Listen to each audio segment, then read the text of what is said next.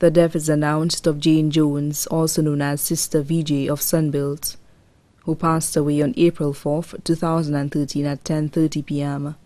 She was 77 years old. The funeral service of the late Jane Jones, also known as Sister VJ, will be held at the Bethel Tabernacle Church in Sans Souci on Friday 19th April 2013 at 3 p.m. and the body will be interred at the Choc Cemetery. The body now lies at the Rambali's funeral parlor, Carvey Road, Castries.